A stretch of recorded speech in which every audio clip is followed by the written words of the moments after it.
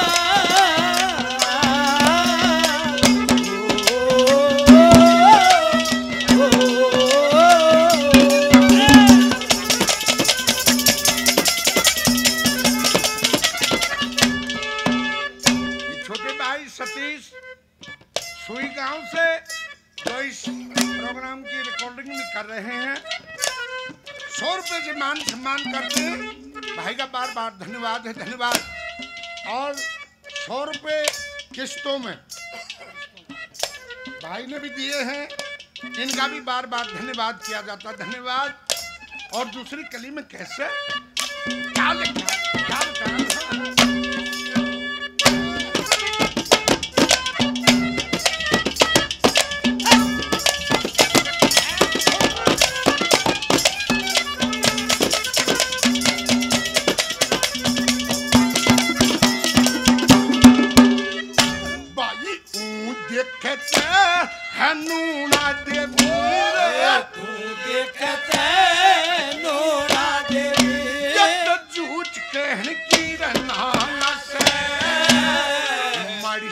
बात पर आँसू ते पल्ला मूल बहन की आस अग पूर्ण मलकी भी साथ आत्मा या सजा दहन की रनाना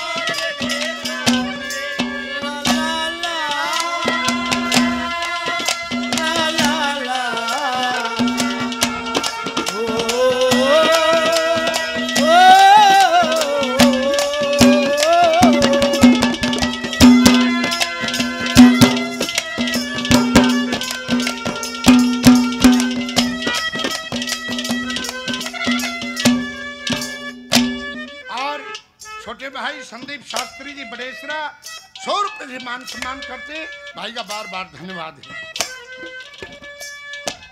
और ये आदमी जय भगवान जी, ना जय भगवान के नाम से बुलवाए हो ना।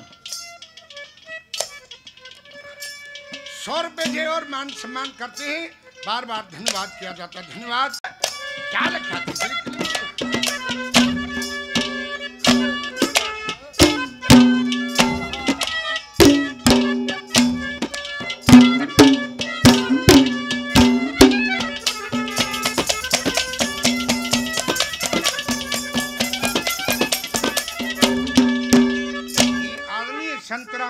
साहब सौ रुपए से मान सम्मान करते हैं। कोच साहब का बार बार धन्यवाद धन्यवाद।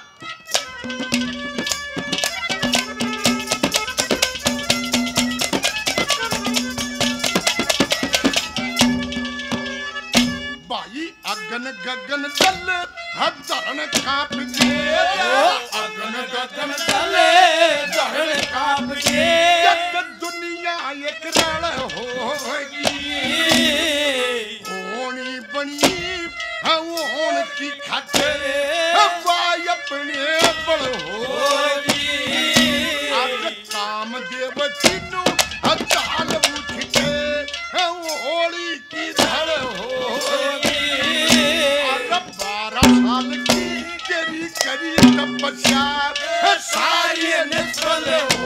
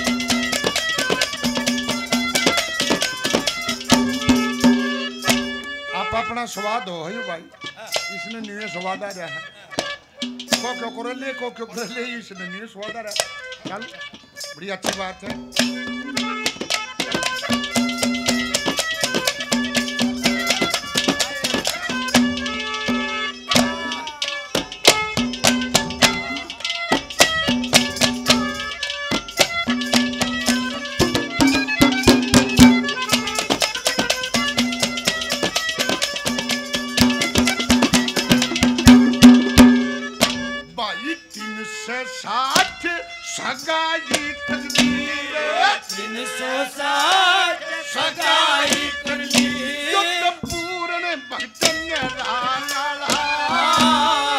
बेरहना किस डाल टूट जा जन्म जती का पारा।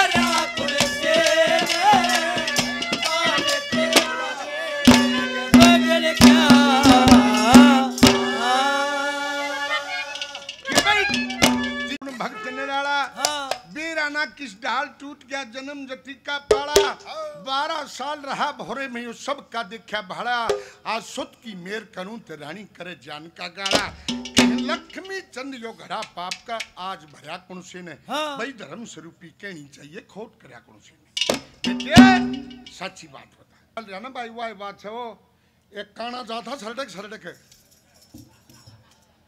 एक आँख कति खत्म थी और तुम आग गब जो तिनको उठ मारे बैठे इस लुक कपल वन के से वो बोले रो कने हम दिखे तने बोले उला का नंबर हम तिया थारी इस दी कर दूँगा बेटा हर तब आई इब कही सर दे फिर थारे ने, वो अगली राउंड में उसने सुना देंगे।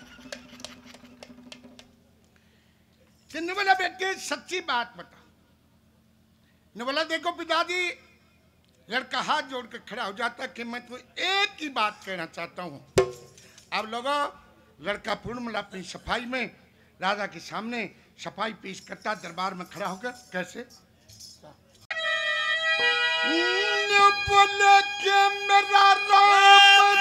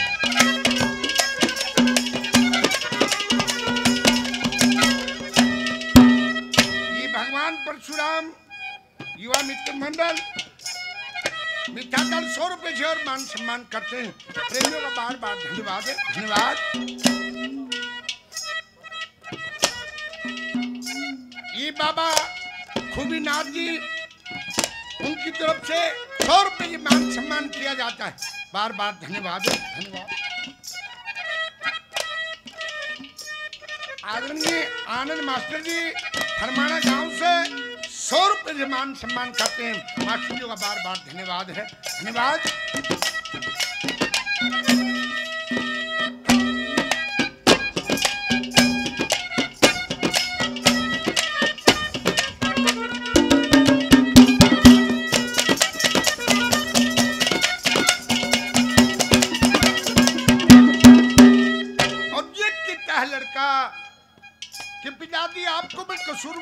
सकता हूँ। तो आपके पास टेका रखा हुआ है लेट के गर्दन काट दो। मैं उफ तक नहीं करूँगा। लेकिन ऐसा इल्ज़ाम मत लगाओ, आपका लड़का निर्दोष है। कैसे? क्या कहा दूसरे गली में? हाँ।, हाँ।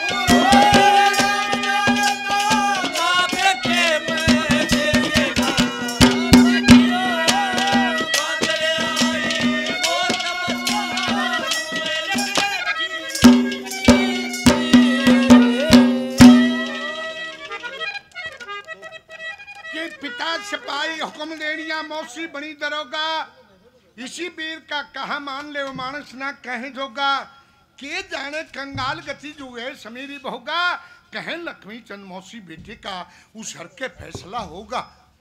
मैं लाके में बिगड़ ली, जो दुनवा की साक्षी थी अरे भाई गद्दे डाली मौत मरूँगा, मेरी न्यू लिख रखी थी। न्यू के लग गया पूर्ण मले मन तो तेरा खोट बुझा था भाई। तने तो सारी ये बात राम के ऊपर छोड़ दी, कि हाँ पिताजी, मेरा राम जानता है, मेरा कोई खोट नहीं। न बोला रे खोट सारा तेरा। और बताते हैं लोग कि पूर्णमल का शीश काटने के लिए टीका निकाल लेते हैं। राजा और जब तेगे का वार करने लगे, पीछे से कौन के रूपे शाह दीवान तेगे को पकड़ लेते हैं? पीछा फिर के देखा, रूपे शाह दीवान तेगे को पकड़े हुए न बोला रे रूपे शाह चाला कर दिया। भाई, इतने दे क्या महाराज? कि अगर तू तेगा नहीं पकड़ता, एक ही बार में इसका शीश धड़ से अलग कर देता। महाराज, मैं मानता हूँ। अगर आपके तेगे का बार चल जाता, तब तक तो पूर्ण का शीश और धड़ ज़मीन पर तड़पता हुआ नज़र आता। लेकिन मैंने वो जो हो, इसका खोट के है। न बोला रे रुपेशा इस बेईमान ने ऐसा खोट किया, मुझे बताते हुए भी लज्जा आती। हे महाराज, कोई बात भी होगी? न बोला रे मैंने, इसको इसकी मौसी के पास महल में भेजा दर्शन करने के लिए और इस बेईमान ने उसकी इज़्ज़त पर हाथ न डाल दिया। कौन कहता है कि मेरी रानी कहती है, कमाल है महाराज। एक रानी की बात मान के आपने इतना बड़ा निर्णय ले लिया। इकलौते पुत्र का शीश काटने के लिए तैयार हो गए। कोई मुकदमा, कोई केस, जब होता है जब दोनों तरफ़ से गवाही हो जाती है तब कोई फैसला लिया जाता है? पर मेरे जज की और किसी की मानने, कोई ना तू रानी की मानने हौस कर। मोह में इतना ग्रस्त हो गए आप रानी के में कि इकलौते पुत्र का उसकी बात मान शीश काटने के लिए तैयार हो गए। बोला रे जबान मत चलावे ज़्यादा। तेरी भी टीका पकड़ने की एक ही सजा है। क्या किया, इसी वक्त खजाने में तीन लाख रुपए हर जाने के तौर पर भर दो।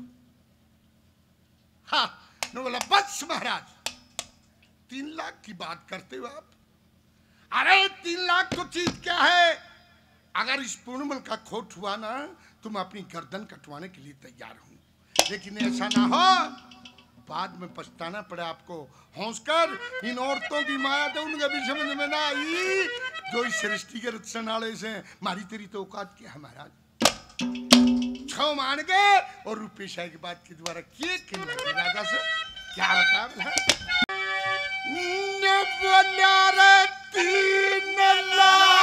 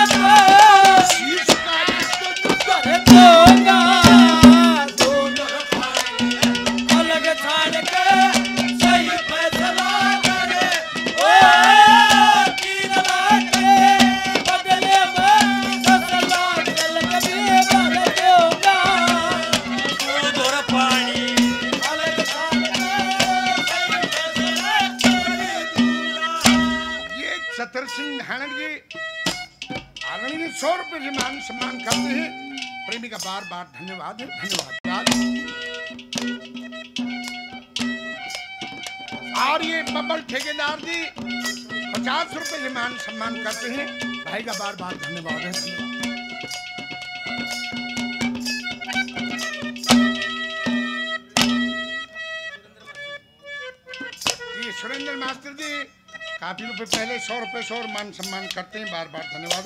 शर्मा जी, सौ रुपये पहले, पचास रुपये सौ और मान सम्मान करते हैं। प्रेमी का बार बार धन्यवाद। ने बोला महाराज देखे इनके चक्कर में आके बड़े बड़े बर्बाद करो। मैं बताता हूँ, कैसे? दूसरी कली में क्या समझाते हैं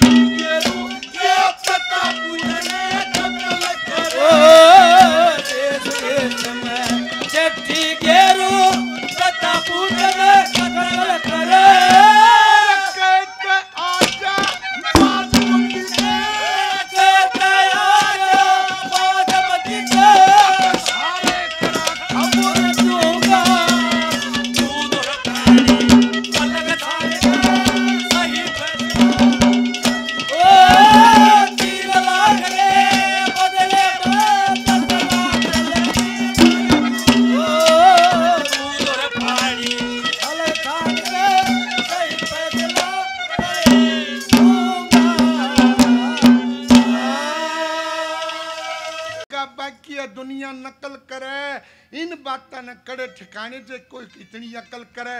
हो जाएगा बदनाम भूप जे झूठ बात ने असल करे। मैं तो देश देश में चिट्ठी गेरू के पिता पुत ने कत्ल करे। कहते आज आवाज़ बदीते ना तो सारे करा खबर दूँगा।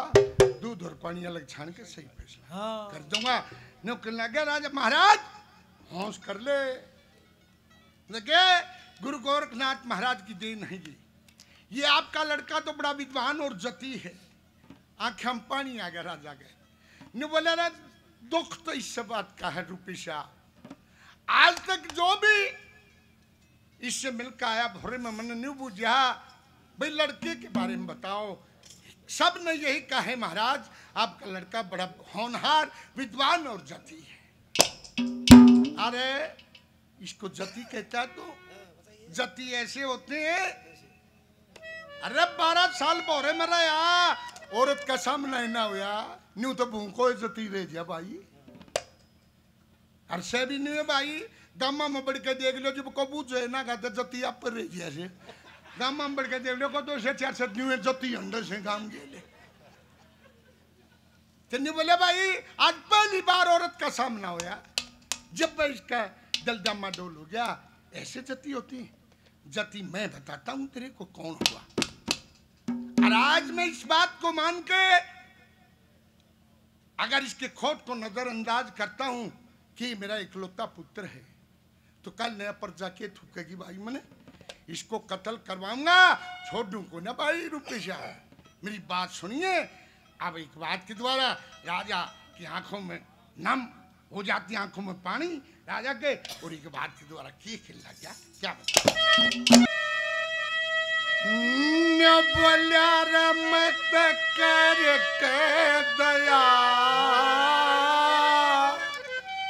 Whoa!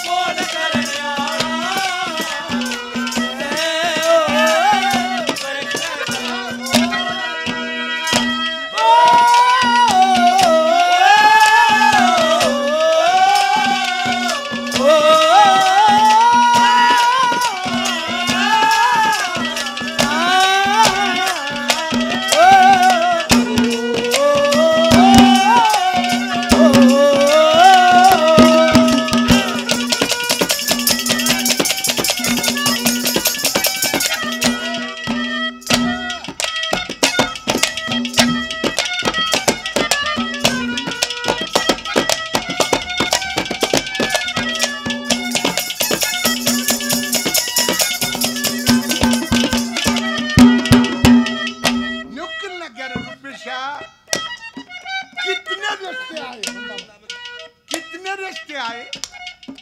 मनन्यो क्या बेटे ब्याह करवा ले। कब ती नाच गया। न बोले पिताजी जती रहूँगा। ब्याह की गचाले रात देख बेईमान डूब गया जब कल डूब। गया गेट दे किसका? कैसे? क्या कहा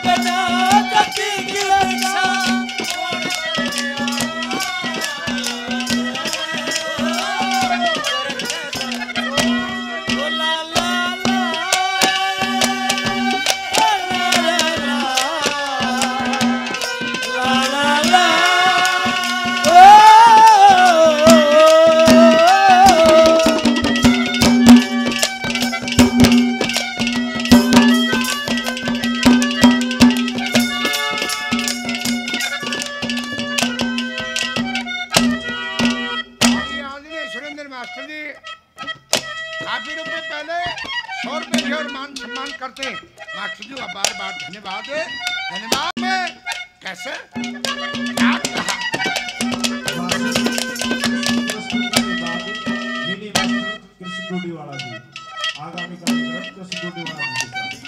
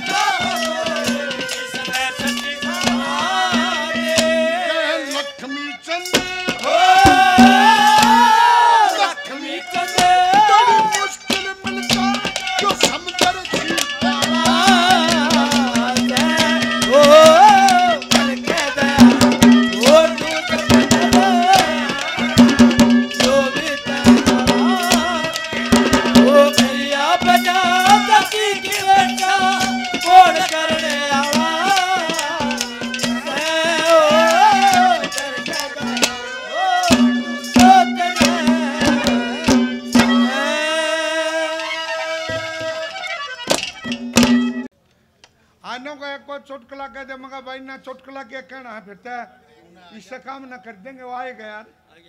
अब वो ना वो काम हो गया वो एक ना घेवर घना खा लिया। अरे घेवर घना खा लिया दे। पानी पीते वाड़ो तो यड़ गया सांस आना बंद हो गया। अस्पताल में ले गए जाते डॉक्टर ने। इत इतने बड़े कैप्सूल और वो गोली दे दी कि बिला ये खा ले। न बोला डॉक्टर साहब क्यों मज़ाक कर रहे हो? जंग होती तो घेवर और ना खा लियो है। चुटकुला के सुनाना जे ढील होते रहा कि नहीं और सुना देंगे